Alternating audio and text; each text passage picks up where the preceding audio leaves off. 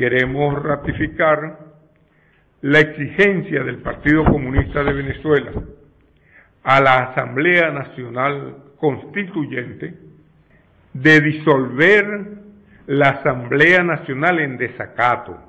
Ya se ha hecho débil el solamente saber que es una Asamblea Nacional en desacato.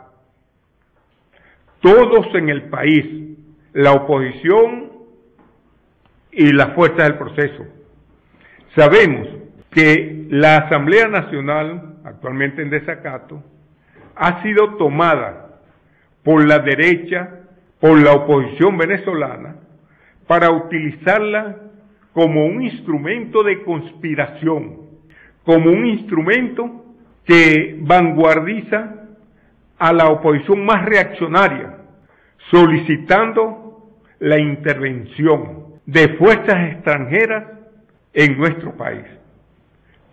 Reciente están las dos decisiones están fatídicas, que por supuesto no tienen mayor, mayor connotación en la vida política nacional, pero que desde el punto de vista político representan el objetivo que tienen estas fuerzas reaccionarias con esa Asamblea Nacional en desacato. Aprobar una decisión donde le dan en forma honorífica una junta directiva al Banco Central de Venezuela.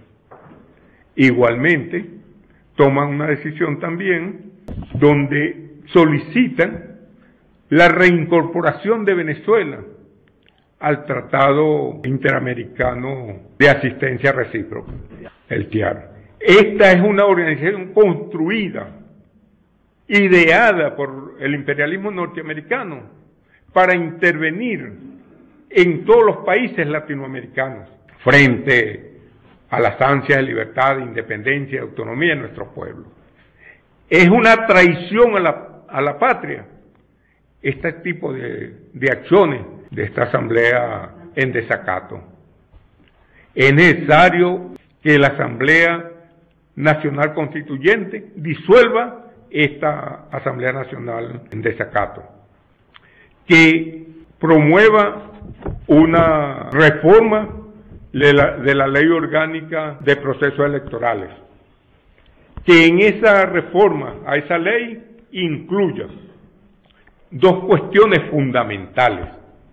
Uno, garantizar la participación y elección de las minorías, que todas las fuerzas minoritarias tener su representación en los cuerpos deliberantes.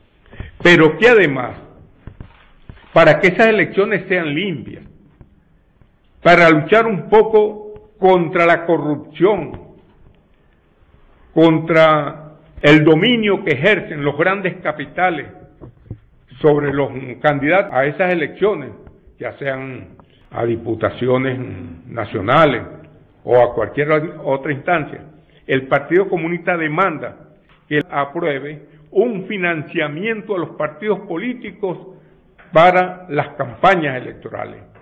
Esto es una necesidad para empezar a sanear la conducta de los dirigentes políticos en nuestro país.